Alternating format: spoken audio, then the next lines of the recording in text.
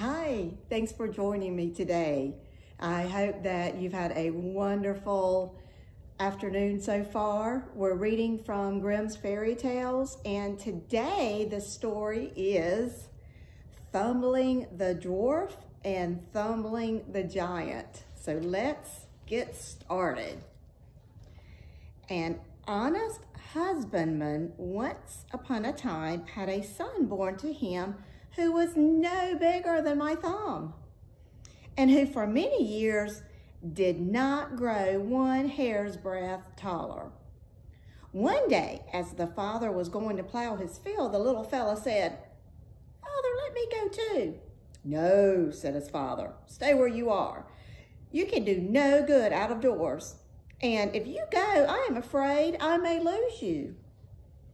Then little Thumbling began to cry and his father, to quiet him, at last said he might go. So he put him in his pocket, and when he was in the field, pulled him out and set him upon the top of a newly made furrow, that he might be able to look about him. While he was sitting there, a great giant came striding over the hill. Do you see that huge man? said the father. If you don't take care, he will run away with you. Now, he only said this to frighten the little boy and keep him from straying away. But the giant had long legs, and with two or three strides, he really came close to the furrow.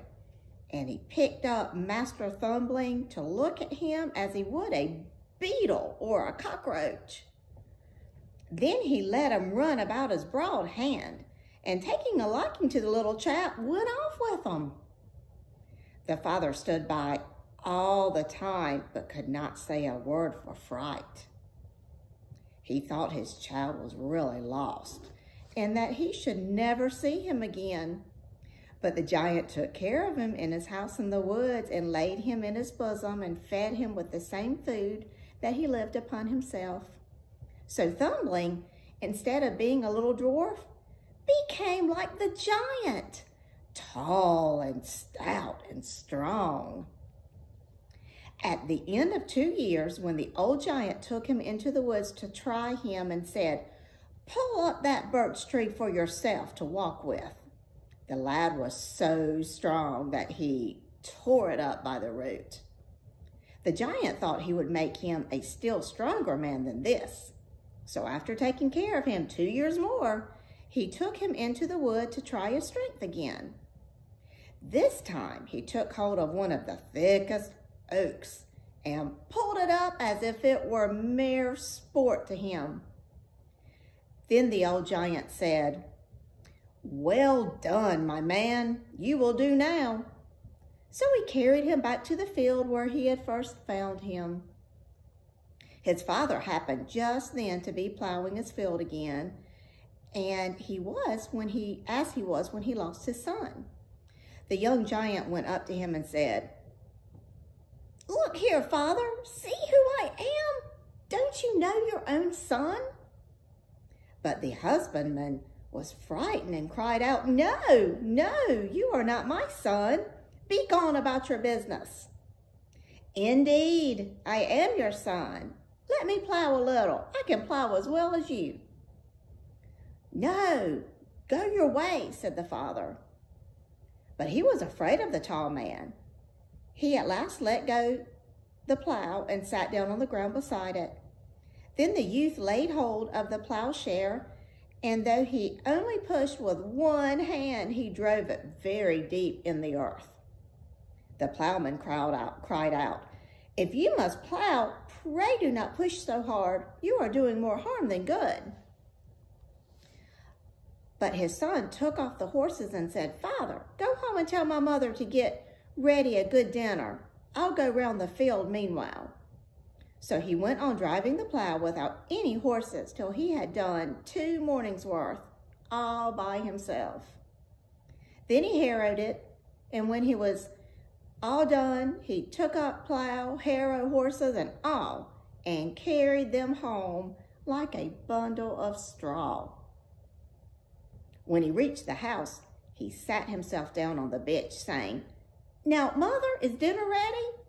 Yes, said she, for she dared not deny him anything. So she brought two large dishes full, enough to have lasted herself and her husband eight days. However, he soon ate it all up and said that was but a taste. I see very well, Father, that I shall not get enough to eat at your house. So if you give me an iron walking stick so strong that I cannot break it against my knees, I will go away again. The husbandman very gladly put his two horses to the cart and drove them to the forge and brought back a bar of iron as long and as thick as the horses could draw. But the lad laid it against his knee and snapped it like a beanstalk. I see, father, said he. You can get no stick that will do for me, so I'll go and try my luck by myself. Then he went away and turned blacksmith and traveled till he came to a village where lived a miserly smith who earned a good deal of money but kept all he got to himself and gave nothing away to anybody.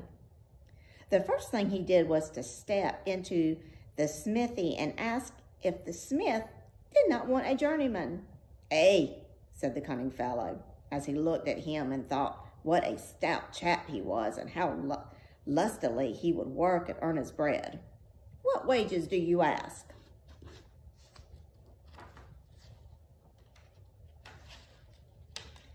I want no pay, said he, but every fortnight when the other workmen are paid, you shall let me give you two strokes over the shoulders just to amuse myself. The old smith thought to himself he could bear this very well and reckoned on saving a great deal of money, so the bargain was soon struck. The next morning, the new workman was about to begin work, but at the first stroke that he hit, when his master brought him the red hot iron, he shivered it to pieces, and the anvil sank so deep into the earth that he could not get it out again. This made the old fellow very angry. Oh, cried he, I can't have you for a workman. You are too clumsy. We must put an end to our bargain. Very well, said the other, but you must pay for what I have done. So let me give you only one little stroke, and then the bargain is all over. So saying, he gave him a thump that tossed him over a load of hay that stood near. Then he took the thickest bar of iron in the forge for a walking stick and went on his way. When he had journeyed some distance, he came to a farmhouse and asked the farmer if he wanted a foreman. The farmer said yes, and the same wages were agreed for as before with the blacksmith. The next morning, the workmen were all set to go into the wood, but the giant was found to be fast asleep in his bed when the rest were all up and ready to start. Come get up, said one of them to him. It is high time to be stirring. You must go with us. Go your way, muttered he sulkily. I shall do my work and get home long before you. So he lay in bed two hours longer and at last got up and cooked and ate breakfast, and then at his leisure harnessed his horses to go to the wood. Just before the wood was a hollow way through which all must pass.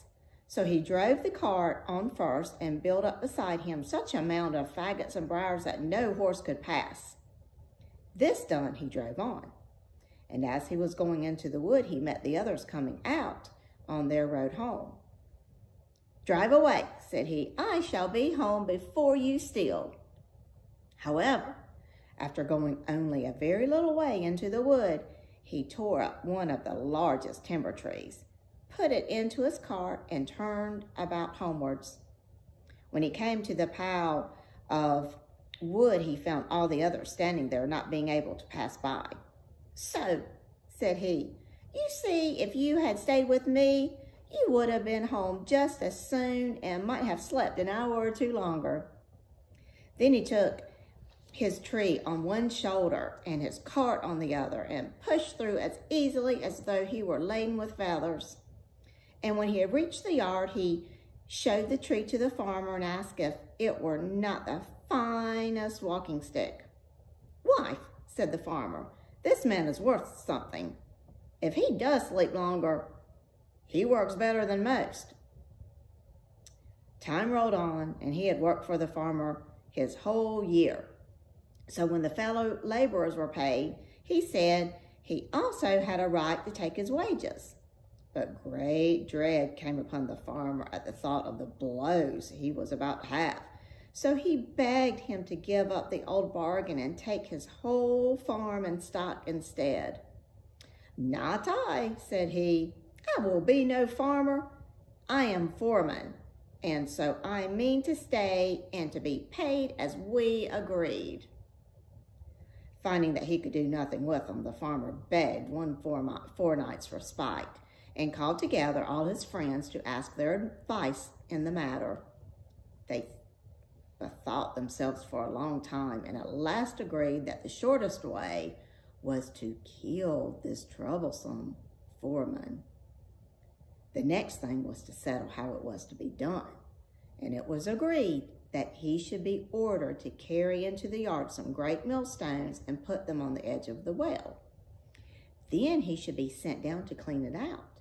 And when he was at the bottom, the millstones should be pushed down upon his head. Everything went right, and when the foreman was safe in the well, the stones were rolled in. As they struck the bottom, the water splashed to the very top. Of course, they thought his head must be crushed to pieces, but he only cried out, Drive away the chickens from the well. They are scratching about in the sand above, and they throw it into my eyes so that I cannot see. When his job was done, he sprang from the well, saying, Look here, see what a fine neckcloth I have. And he pointed to one of the millstones that had fallen over his head and hung about his neck. The farmer was again overcome with fear and begged another fortnight to think of it. So his friends were called together again and at last gave this advice, that the foreman should be sent and made to grind corn by night at the haunted mill, whence no man had ever yet to come out alive in the morning. That very evening he was told to carry eight bushels of corn to the mill and grind them in the night. Away he went to the loft, put two bush bushels in his right pocket, two in his left, and four in the long sack slung over his shoulders, and then set off to the mill. The miller told him he might grind them in the daytime, but not by night, for the mill was bewitched, and whoever went in at night had been found dead in the morning. Never mind, Miller, I shall come out safe, said he. Only make haste and get out of the way and look out for me in the morning.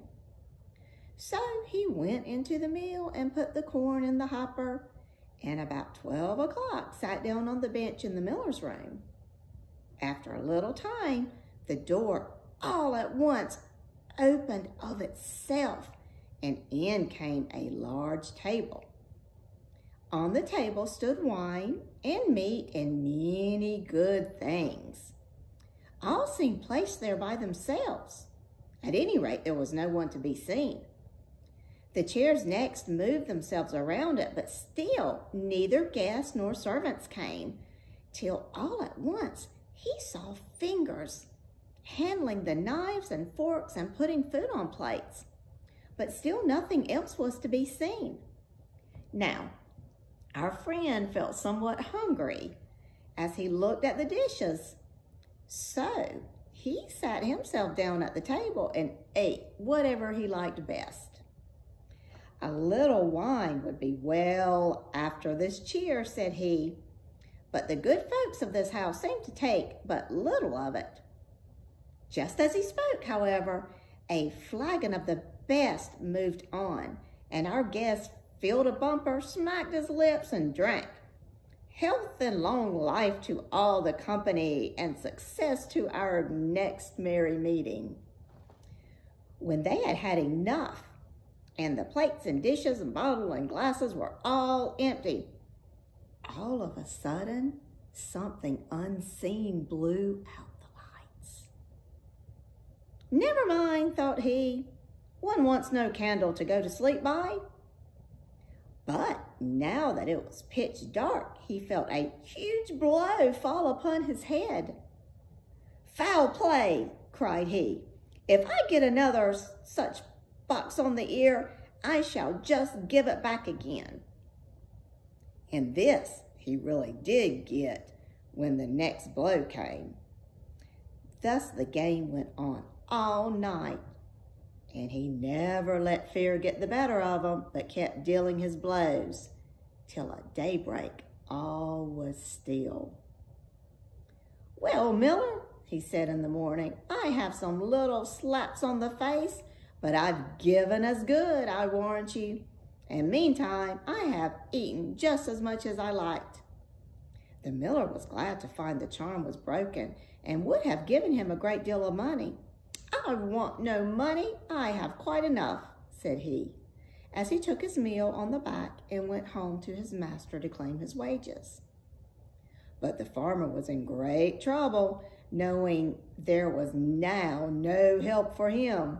He paced the room up and down while the drops of sweat ran down his forehead.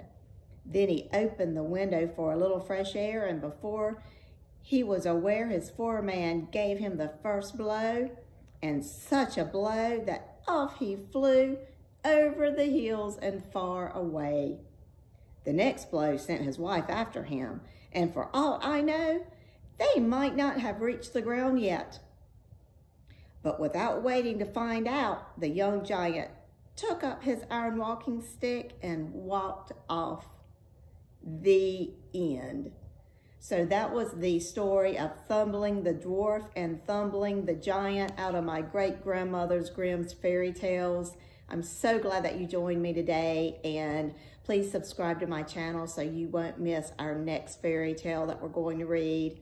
Don't forget, like I always say, please smile at someone today. It will make their day more than you will ever, ever know. All right, great to see you, and I look forward to next time. Bye.